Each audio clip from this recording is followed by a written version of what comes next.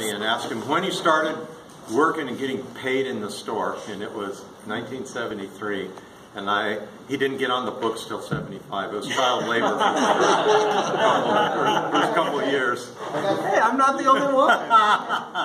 but uh, yeah, and I started in 74. So Sammy and I have seen this uh, industry develop over the years, haven't we? It's been, been amazing. And uh, uh, Sam Ash has come a long way since that time, and um, we appreciate the support.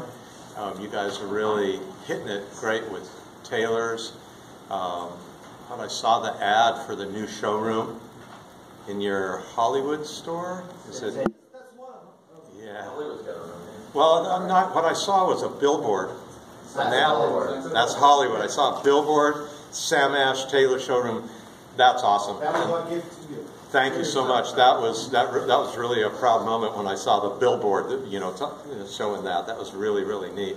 But to come a long ways, and you know, when we've been, we're 42 years into this, you and me, and uh, that becomes more and more important the older we get, I think. So, anyways, Sammy, thank you. My personal thanks to you, and uh, you've built a nice, a fine business here. Thank you, all use Sam Ashites.